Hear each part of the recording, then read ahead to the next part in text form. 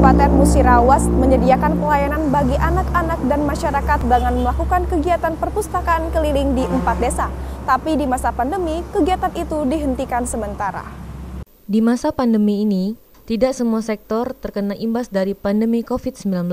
Salah satunya di perpustakaan daerah di Kabupaten Musirawas yang melakukan terobosan baru untuk menarik kembali antusias minat baca bagi anak-anak dan untuk semua kalangan dengan melakukan perpustakaan keliling di empat desa, yakni Desa Kembang Tanjung, Gunung Kembang Lama, Gunung Kembang Baru, dan Desa Bumi Makmur. Namun kegiatan ini sementara waktu dihentikan sementara terkait masih terjadi wabah COVID-19.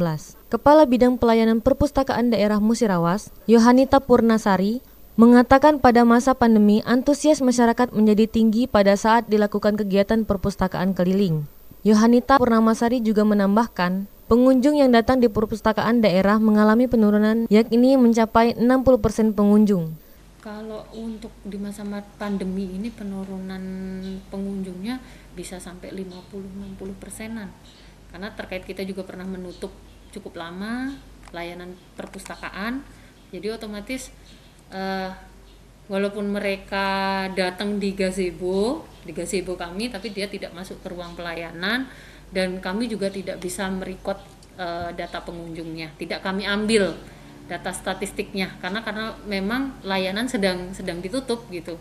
Mungkin mereka datang mau nyoba-nyoba wifi gratisnya termasuk uh, wifi juga beberapa kita matikan tapi mereka masih bisa mengakses wifi kantornya bukan wifi perpustakaannya. Sementara itu, Pustakawan Perpustakaan Daerah Kabupaten Musirawas, Idar Niasi mengatakan letak perpustakaan daerah ini kurang strategis mengingat berada di lingkungan kompleks pemerintahan Musirawas. Sehingga pengunjung yang datang hanya dari lingkungan sekolah di sekitar Pemkap Musirawas. Yang di sini tuh kurang strategis, jadi uh, pengunjungnya itu nggak terlalu banyak, cuman yang ada di sekitar sini cuman sebagian SD yang ada di sekitar sini, SMP sama yang mahasiswa di sini.